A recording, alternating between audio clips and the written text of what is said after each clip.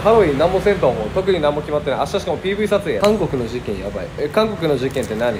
俺らこの前まで韓国行っとったけどどうしたん？そんな俺らの韓国で。何があったん？151人死んどうと何で？知らんよ。は？めちゃくちゃ死んでる。ハロウィンで？ハロウィンで転倒事故。は？えぐ。お前らマジで気をつけるように渋谷行く時バリやばいやん。イテウォンで。ガチか。とんでもないね。ガチかよ。日本人も2人。は？とんでもな。えお前らマジで本当渋谷とか気をつける今年渋谷がどれぐらい入るのか知らんけど。危ねえばハロウィンすごいよねでもなんか。別にさ去年のハロウィンそれこそさタイムズスクエアおったっちゃけどそんななんか渋谷ほどもうにぎわってなかったけどな。すごいよな。韓国もそうなんだ。危ないね。こっちはタイでまったり暮らしてます。はい。そんなとんでもないね。